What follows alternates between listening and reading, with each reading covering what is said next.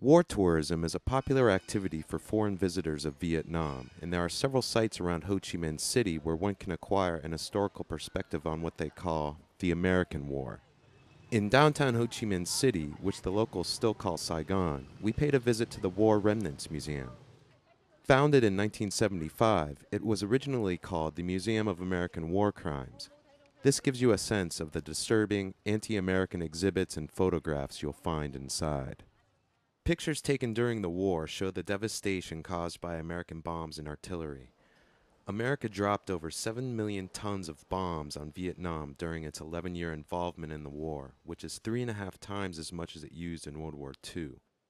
Photographs here also capture the horrors of Agent Orange, a defoliating agent used to remove leaves from trees so bombers could see their targets better. 18 million gallons of defoliants were used in the war to devastating effect. The chemical is incredibly toxic to humans, causing deformities and birth defects in those it does not kill, and rendering the land it touches sterile for over 100 years.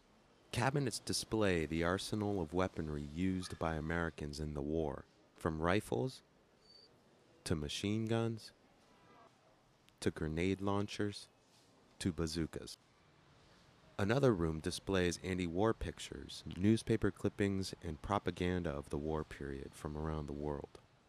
Outside, the big weapons of the American war machine are on display. A variety of tanks and artillery now sit aiming their muzzles harmlessly into a peaceful sky. Alongside, Fighter jets and helicopters rest immobilized. They will fire their guns no more.